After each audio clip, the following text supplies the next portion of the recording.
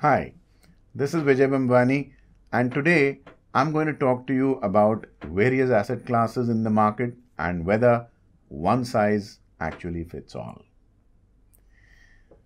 Women nowadays are wearing lycra tights instead of salwars. The beauty of the lycra tight is you get it in various colors to, to go as uh, uh, beautifully uh, suitable combinations with any kind of tops and kurtas. Besides, being made of lycra or stretching material, one size fits all. So it's a free size. In financial markets, does the concept of one size fits all really exist? In this day and age of cost cutting, rationalization, and trimming of the workforce, I'm seeing a lot of advisory companies, brokerages, mutual funds, etc., giving multiple tasks to the analysts, the research analysts, fund managers, advisors, portfolio managers, etc. And the guy who's actually an equity specialist is also being given tasks of commodities, maybe currencies, maybe even bonds or combinations thereof. Is this really a workable proposition? Yes, it does save costs, but does it result in an equally good amount of advisory output as it would have been should a equity advisor stick to equities, a commodities advisor sticking to commodities, or a currency advisor sticking to currencies, respectively? Honestly, the answer is no. The reason is the hue, the character, and the characteristics of each asset class.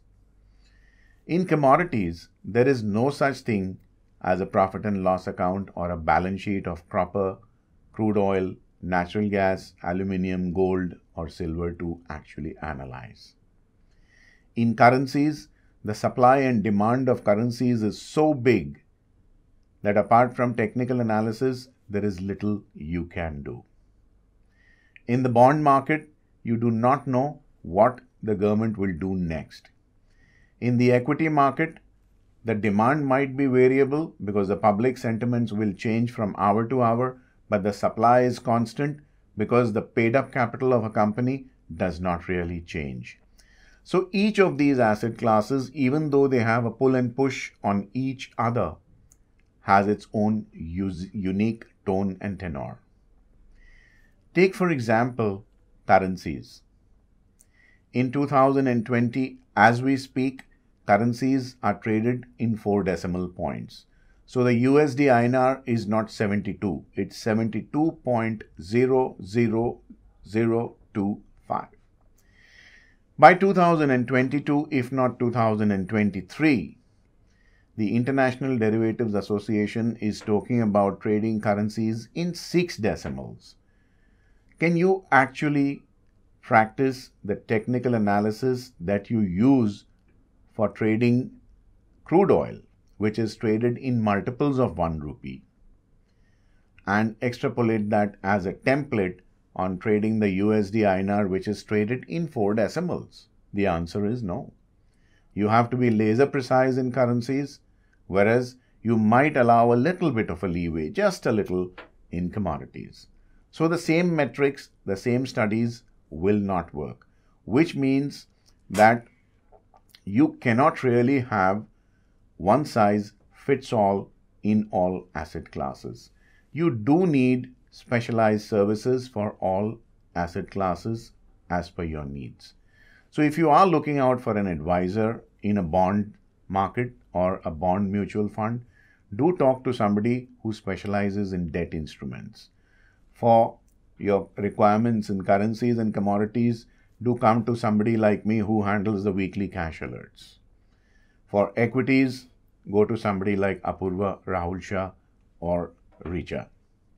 Which is why we basically believe in Equitymaster of segregating the duties of, of handling and monitoring various asset classes across different people. We know that each market has its own unique characteristics in order to be a holistic investor, you must definitely acclimatize yourself, familiarize yourself with the varying asset classes that you're going to invest your money in. By all means, Play favorites with one asset class, but do remember that what you do in one asset class does not necessarily work in the other. It is your money, it is your duty, right, and responsibility to know what you're doing with your money. Do remember that unlike Lycra tights, one size does not fit all in financial markets. Before I sign off from this video, let me remind you to click like on this video if you're watching it on YouTube. Do share this knowledgeable video with your family and friends and in the comment section, do let me know what you think about this video and what future videos you would want me to record for you. Do not forget to subscribe to our Telegram channel where we put up our views and news 24 7. It's called the Equitymaster Official Telegram channel. See you soon. This is Vijay Bambwani signing off for now. Do take very good care of your trades and investments. Thank you. Also, do not forget to subscribe to my free email newsletter, Fast Profits Daily, and get my free guide, How to Trade Markets Like a Pro.